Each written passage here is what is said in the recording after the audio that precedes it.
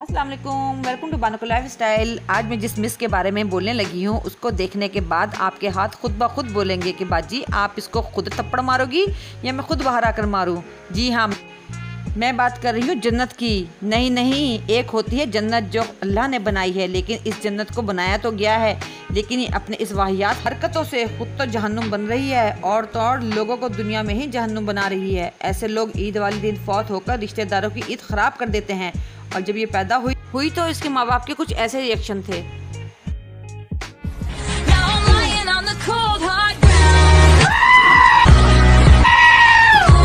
ऐसी लड़कियाँ तो रोती हुई भी मनहूस लगती हैं और ये रमज़ान वाले दिन अपने वजूद को ऐसे छुपाती हैं जैसे दुनिया के सारे कपड़े और दुपट्टे इसी घर में मौजूद हों। मम्मी ने मेरे चाचा मारा वो बहुत बुरी है। ऐसे नहीं बोलते अरे बुरी तो वो तब बनी थी जब उन्होंने कुछ ऐसी वाहियात जहन्नुम को पैदा किया था और चाटा भी शायद उन्होंने इसलिए लगाया था क्योंकि इनको अपनी उस औलाद पर शक था कि ये मेरी औलाद है। ऐसी लड़कियाँ जब इनको कोई लड़का या लड़की को अच्छा रिश्ता नहीं मिलता तो ये कुछ ऐसे काम लेती हैं।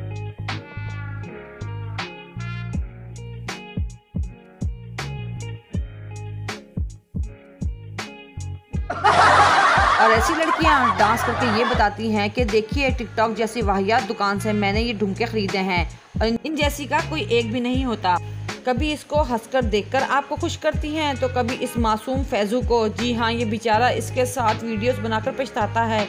और अगर इस टिड्डी के साथ कोई धोखा कर दे तो शायद दुख किसी को भी ना होगा। बस अब इन वाहियात जहन्नुम को पैदा करने के लिए, ये दिन देखने के लिए बहुत से लोग बेताब हैं।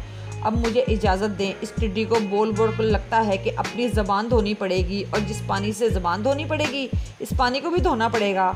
अब नमक के साथ इतना ही काफ़ी है, क्योंकि मिलते हैं अगली वीडियो में। अगर मेरी वीडियो पसंद आई तो लाइक सब्सक्राइब ज़रूर कीजिएगा। दुआओं में याद रखिएगा। अल्लाह हाफिज़।